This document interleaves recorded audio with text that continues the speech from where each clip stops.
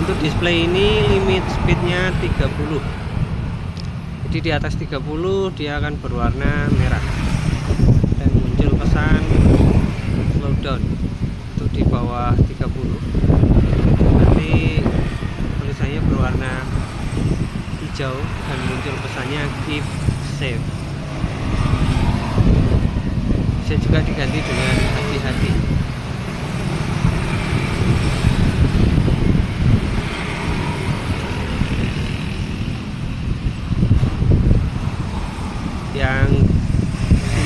angka 30 di atas itu bisa diubah dengan nama perusahaan atau dengan logo perusahaan.